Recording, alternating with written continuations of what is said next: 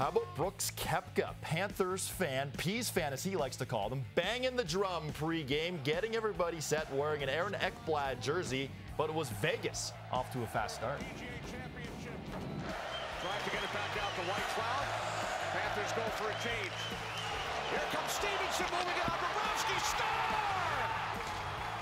One minute, 39 seconds in. Couple of Panthers go off for a line change, including Ekblad, and Chandler Stephenson takes full advantage. Ninth of the playoffs, Vegas takes the early lead. Five hole on Bobrovsky. Later in the period, Brandon Montour's shot is blocked.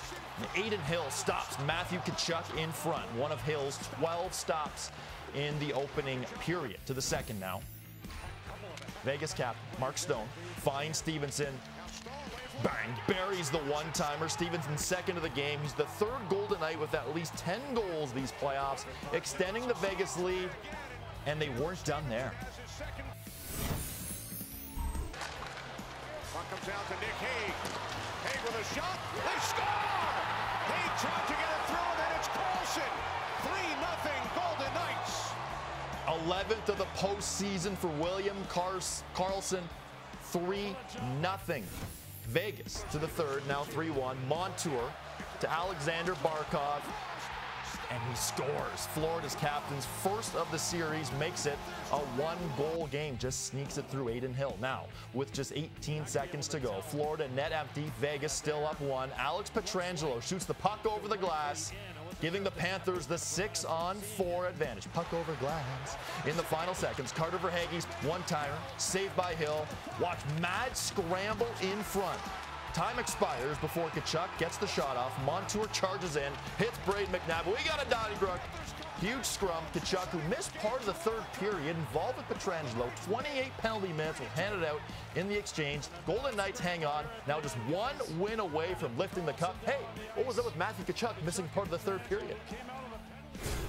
Well, Matthew's been a grinder his whole life, and uh, and he was again tonight.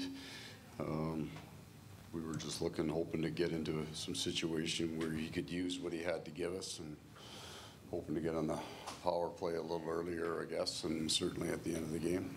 Paul, in, in your mind, what's the biggest reason why you're trailing this series? Uh, they keep scoring more goals than we do.